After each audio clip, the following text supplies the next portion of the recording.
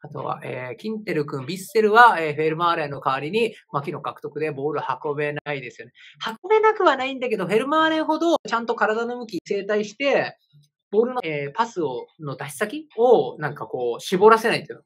相手の取り所絞らせない運び方をしてみたいな、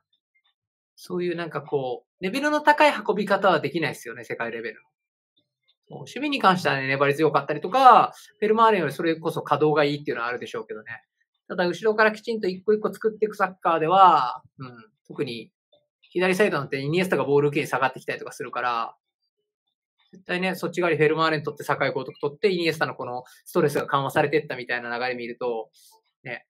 でもまあ、牧野は自分のね、あの悪いところを修正して直そうっていうその意欲はありますからね。それがどうなるかっていう。手を組む時代の幕開け。チェケ損失も驚く準備を試合の数だけ。して奇跡を逆算するやつ集まれ。